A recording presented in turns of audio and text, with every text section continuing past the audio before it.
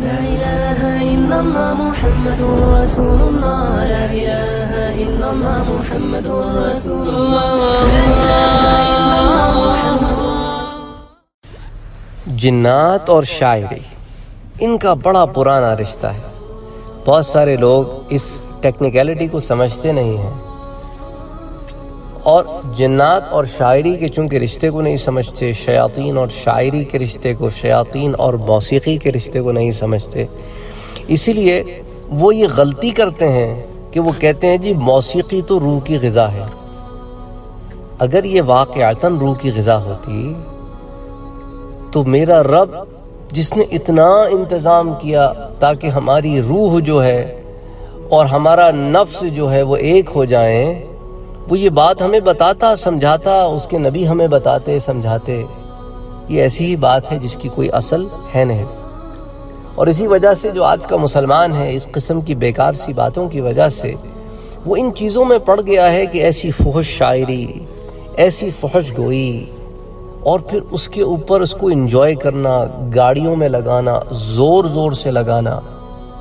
اور ایسے ایسے فحش کلمات، اور پھر گانے کے ایسے گندے، غلیظ طریقے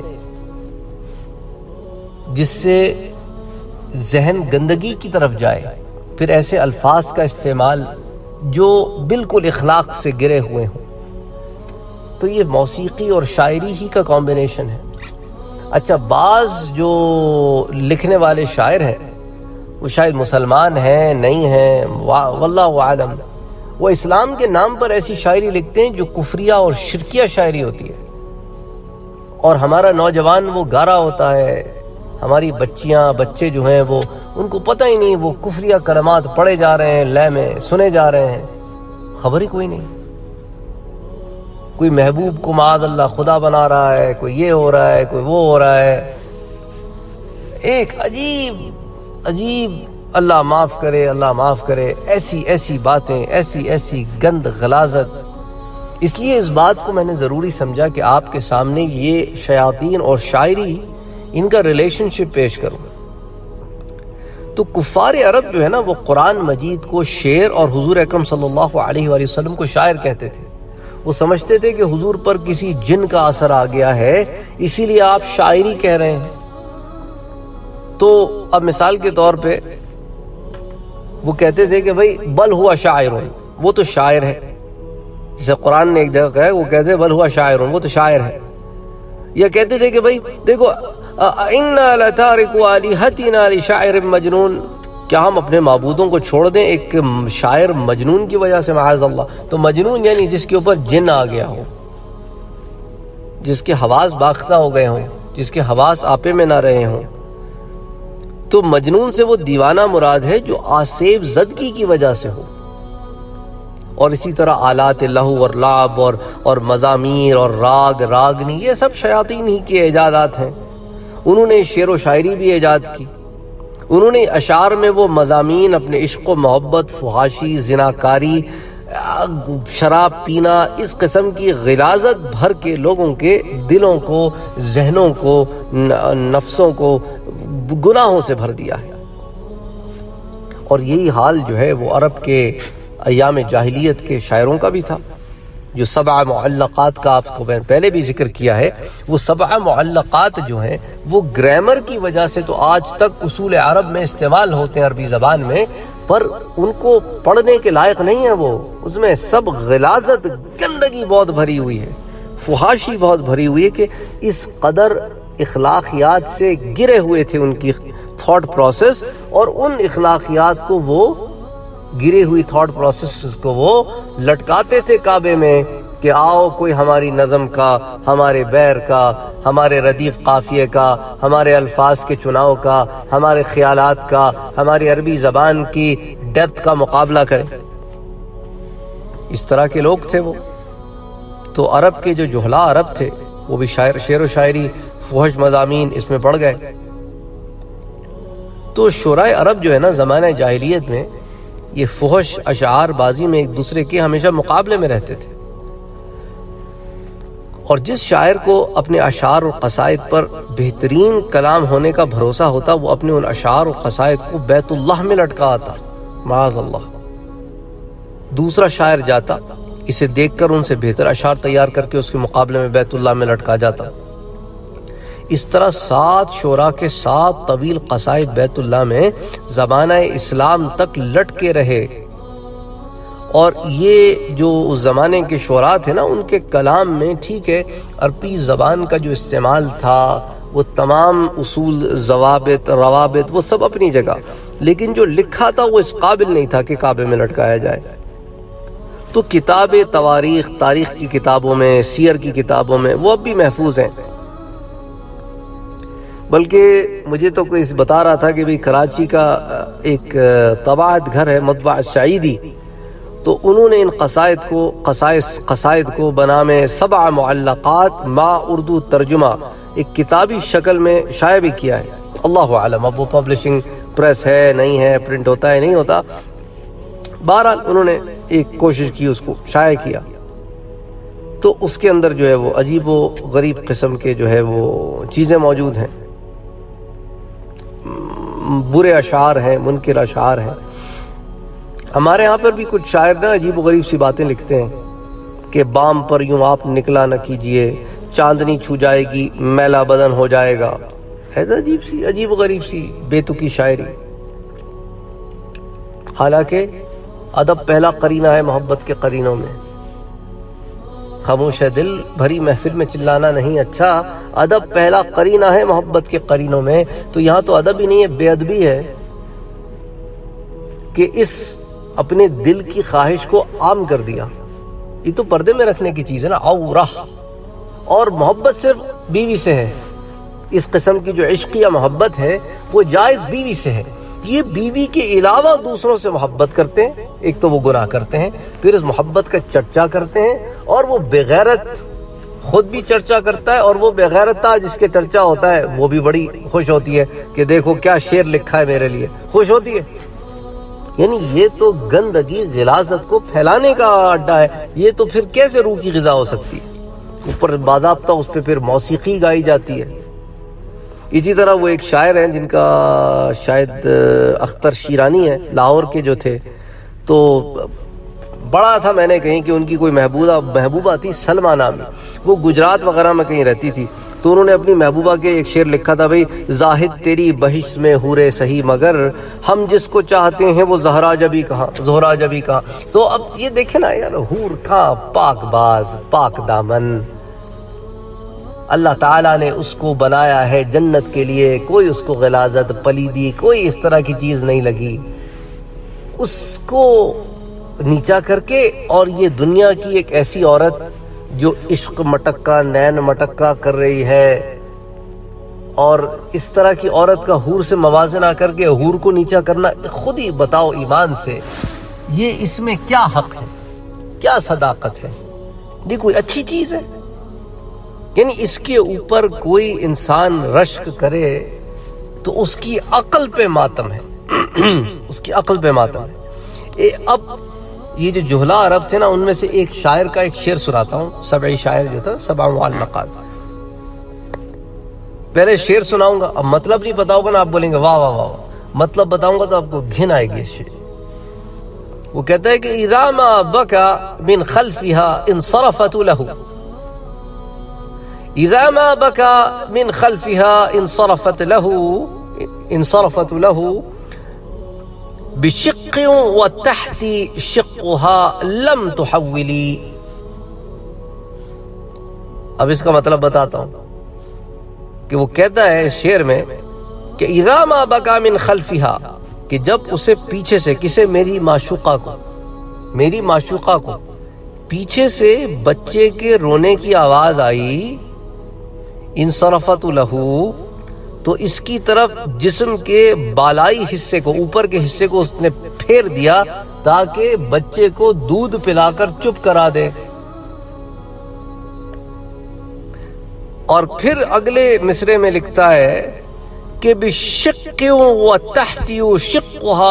تحولی اور جسم کا نیچے کا حصہ یعنی کمر سے نیچے کا حصہ، اس نے بچے کی طرف نہیں پھیرا۔ کیونکہ وہ حصہ تو میرے ساتھ مصروف تھا، معاذ اللہ، جو میرے تحت تصرف میں رہا۔ یعنی یہ غلازت، گندگی اور اس کے اوپر کوئی فخر کرے گا۔ او، عرب کے شعرا جولا۔ یعنی بتانے کا مقصد اس کا صرف یہی ہے کہ یہ شاعری میں بھی ایک معیار ہوتا ہے۔ شاعری میں معیار ہوتا ہے اور یہ موسیقی، شاعری، کوئی روح کی غذا شزا نہیں ہے۔ شاعری اسی کی اجازت ہے جو قرآن اور سنت کے مطابق ہو اور وہ حمد ہے، نعت ہے۔ یا کوئی اس قسم کا کوئی کلام ہے کہ بھئی آپ نے قوم و ملت کے لیے لکھا ہے، اپنی قوم کے لوگوں کے لیے لکھا ہے، مسلمانوں کے لیے لکھا ہے، اپنے جوانوں کے لیے لکھا ہے۔ تو اس کی تو اجازت ہے۔ لیکن یہ گندگی، غلازت، یہ فوش گوئی اس کی اجازت کہیں نہیں ہے۔ اب دیکھیں نا قرآن کریم میں اللہ تعالیٰ فرماتے ہیں، وَالشُّعَرَاءُ يَتَّبِعُهُمُ الْغَابُونَ أَلَمْ تَرَ أَنَّهُمْ فِي كُلِّ وَادٍ يَهِيمُونَ۔ بھی شاعروں کی اتباع وہی کرتے ہیں جو بہکے ہوئے ہوں۔ اب آپ مجھے بتائیں۔ اس سے مراد وہ شاعر تو نہیں ہے نا جو حمد اور نعت اور اچھا کلام لکھتے ہیں۔ یہ تو وہ گند جو لکھتے ہیں، ان کے بارے میں اللہ تعالیٰ کہتے ہیں کہ ان کی جو اتباع کرتے ہیں، وہ وہی ہیں جو خود بہکے ہوئے ہیں۔ تو اب آپ مجھے بتائیں، آپ بہکا ہوا ہونا پسند کریں گے؟ اور پھر اللہ تعالیٰ آگے فرماتے ہیں، کیا تو نے نہیں دیکھا کہ شاعر جنگل میں سرگرداں رہتے ہیں؟ ویرانوں میں نکل جاتے ہیں، اس زمانے میں نکلتے تھے۔ کہ شیاطین کا مسکن ہوتا تھا، وہ شیاطین کو خوش کرتے تھے۔ تو اللہ تعالیٰ نے کفار عرب نے قرآن مجید کو کے بارے میں، حضور صلی اللہ علیہ وسلم کے بارے میں جو باتیں کہیں، تو حضور صلی اللہ علیہ وآلہ وسلم کے اس بات کا اللہ نے خود جواب دیا، وما ہوا بقول شاعر۔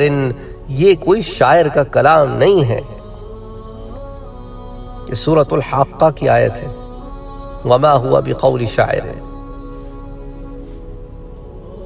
قلیلا ما تؤمنون۔ لیکن مسئلہ کیا ہے کہ تم میں سے بہت کم لوگ یقین رکھتے ہیں۔ اس کے بعد فرمایا چند آیت بعد، وما بقول کاہن اور یہ کسی کاہن کا بھی قول نہیں ہے جو فیوچر کے حالات بتاتا ہو۔ قلیلا ما تذکرون۔ لیکن وہی حال ہے تمہارا کہ تم نصیحت ہی نہیں پکڑتے۔ یاد رکھو سن لو یہ کلام تمہارے رب کی طرف سے نازل کردہ ہے۔ تنزیل من رب العالمین۔ تو اللہ تعالیٰ نے اپنے محبوب کے دفاع میں خود یہ آیت اتاری۔ کیا ہم یقولون شاعر؟ کیا کہتے ہیں کہ یہ محمد صلی اللہ علیہ وسلم شاعر ہیں؟ یہ سورہ تور کی آیت ہے۔ پھر سورہ یاسین میں آتا ہے، وَمَا عَلَّمْنَاهُ الشِّعْرَ وَمَا يَنبَغِي لَهُ۔ ہم نے محمد صلی اللہ علیہ وآلہ وسلم کو شعر نہیں سکھایا۔ نہ وہ شعر اس کے لائق ہیں کہ نبوت کے مقام سے تو بہت نیچے کی چیز ہے شعر و شاعری۔ اچھا یہ جو عرب کے جو شعراء تھے نا، وہ اس القاء شیطانی کو، کہ شیطان کی طرف سے جو القاء ہوتی تھی نا، بیکار سی چیزیں اس کو القاء رحمانی سمجھ کر کہتے تھے کہ الشعراء تلامیذ الرحمن، کہ شعراء تو اللہ کے شاگرد ہیں۔ لیکن در حقیقت ایسے شعر صرف تلامیذ الشیطان یعنی شیطان ہی کی شاگردی کے لائق ہے اب اس تمام تفصیل کا حاصل کلام کیا ہے؟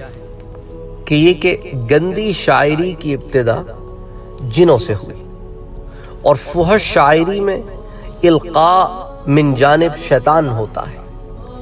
اور اچھے کلام میں الہام و القاء اللہ کی طرف سے ہوتا ہے۔ اور مومن جنوں کی طرف سے بھی ہونے کا ایک قوی امکان علماء نے لکھا ہے۔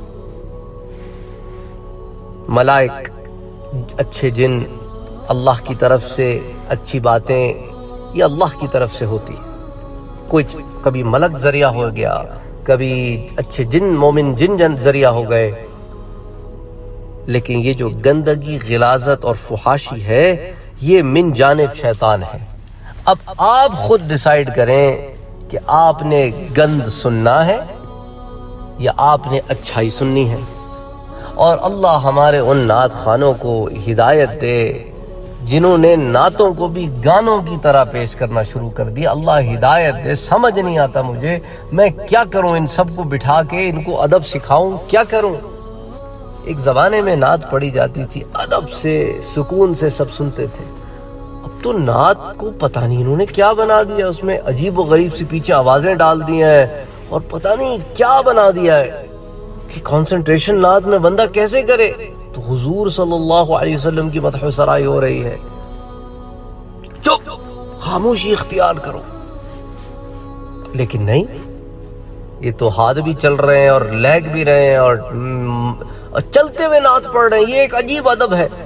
اچھا پھر ایک بندہ نعت پڑھ رہا ہے، دوسرا اس میں لقمے ڈال رہا ہے۔ یعنی بے ادبی کی انتہا ہوتی ہے یار۔ بے ادب لوگ ہیں۔ سمجھ نہیں آتا۔ اچھا شملے پہنے میں اور بظاہر آپ کہیں کہ واہ جی واہ، سبحان اللہ سبحان اللہ۔ زرخ برخ چمکتی ہوئی شیروانیاں۔ یہ کیا ہے؟ یہ کون سا دین ہے؟ معلوم ہی نہیں ہوتا کہ مرد کے کپڑے ہیں کہ عورت کے کپڑے ہیں۔ اور جناب، وہ حال تو ایسا ہے کہ اللہ معافی اللہ معافی، اللہ ہدایت دے۔ میں تو دیکھتا ہوں تو بند کر دیتا ہوں۔ میں کہ یہ کیا کر رہے ہیں؟ انہوں نے دین کو بھی کھلواڑ بنا دیا ہے۔ دین بھی پیسہ کمانے کا دھندا ہے۔ کیا ہے ان کے لیے؟ یعنی کہ کانسرٹ میں اور ایک اس میں کوئی فرق ہی نہیں مچا کے رکھا انہوں نے۔ یعنی رمضان میں ٹرانسمیشن اٹھا کے دیکھیں آپ، وہ کھڑے رہ کے چلتے پھرتے نعت پڑھ رہے ہیں اور وہ دوسرا بھی چلتے پھرتے مائک پکڑ کے ان کو بیچ میں لقمے دے رہا ہے۔ واہ جی واہ سبحان اللہ۔ یہ کیا ہے؟ یہ ادب ہے؟ یہ کیا کر رہے ہو تم؟ کچھ تو خدا کا خوف کرو۔ اللہ تعالیٰ بس ہمیں بھی ہدایت دے، انہیں بھی ہدایت دے۔ سب کے لیے اللہ تعالیٰ ہدایت کا فیصلہ فرمائے۔ تو ساتھ ساتھ یہ بھی بتاتا چلوں کہ مفسرین کرام نے یہ بھی لکھا ہے کہ باجے کا موجد یعنی کہ جو وجود میں آیا ہے، یہ بھی شیطان ہی کا ہے۔ سب سے پہلے اسی نے بانسری بنائی۔ اور حدیث شریف میں ہے کہ باجے کے ساتھ شیطان ہے اور مزامیر جو ہیں وہ حرام ہیں۔ جہاں راگ ہوتے ہیں، باجے گاجے ہوتے ہیں۔ وہاں یہ عجیب و غریب سے جنون کی کیفیت ہوتی ہے۔ سکون نہیں ہوتا ایسی محفل میں۔ کبھی سکون نہیں ملے گا آپ کو ایسی محفل میں۔ آپ کے نفس میں ایک کھل بری ہی جان پیدا ہو جائے گا۔